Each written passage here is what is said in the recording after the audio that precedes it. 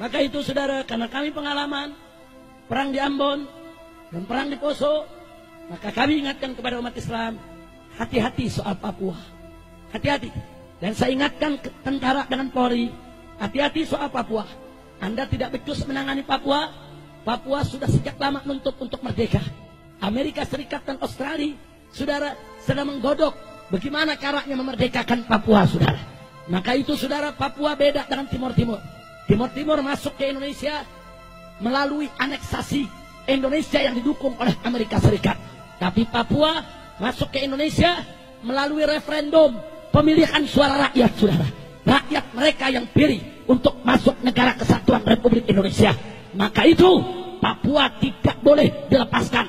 Jadi kalau Papua coba-coba tentara Amerika turun, tentara Australia turun untuk bela Kristen memerdekakan Papua, saya akan undang umat Islam dari Sabang sampai Merauke.